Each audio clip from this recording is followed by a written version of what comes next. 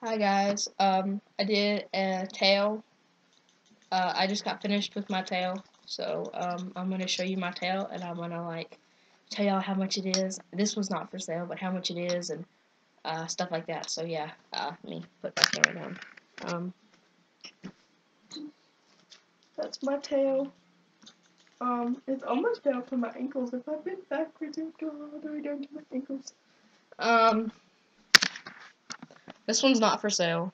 Um, it ranges from fifteen to fifty dollars um, without shipping and handling. So it depends on shipping and handling. Um, basically, how much your total is going to come out to. Um,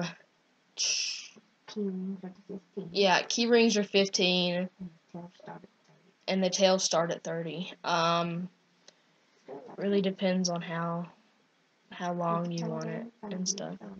So this is the tail. It's really fluffy um, and soft, and it sheds a lot. um, so yeah, Contact bye people.